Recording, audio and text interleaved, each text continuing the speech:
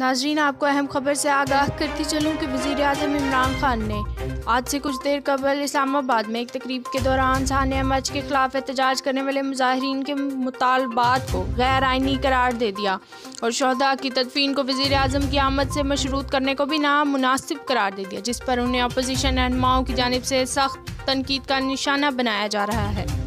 Sania much के मुतासरीन पर black mailing का इल्ज़ाम बेहद शर्मनाक है। कौम ना सिर्फ़ सिलेक्टेड बल्कि बेरहम संग दिल और नलायक वज़ी अजम के रहमो करम पर है। इमरान खान सानिया मच के मुतासरीन की तोहन अब बंद कर दें। इमरान खान मुंतब वज़ी अजम होते तो दूसरे दिन ही गमजदा ख़ानदानों के पास जाते। मैं ये सानिया मच के मुतासरीन से कहना चाहूँगी कि सानिया मच के मुतासरीन किसी भी बेरहम और खुद गर्ज शख्स से इंसाफ की उम्मीद ना रखें।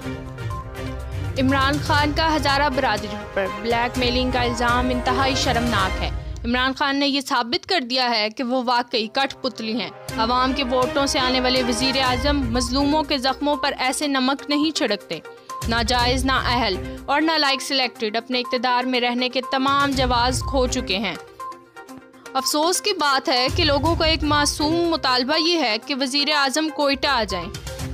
आपको बताती चलूँ कि हज़ारा बरदरी का मुतालबा है कि वज़ी अजम आएँगे तो लाशों की तदफीन की जाएगी, लेकिन किसी भी मुल्क के वज़ी अजम को इस तरह से ब्लैक मेल नहीं किया जा सकता।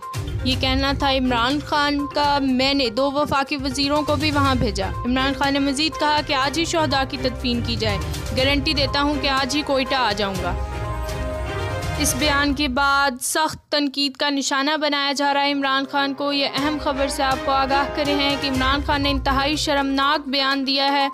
हज़ारा बरदरी के हवाले से ये थी अब तक की लोकल व्यूज़ ताज़ा तरीन मजीद खबर से बाखबर रहने के लिए। लोकल व्यूज़ टी को ज़रूर सब्सक्राइब करें।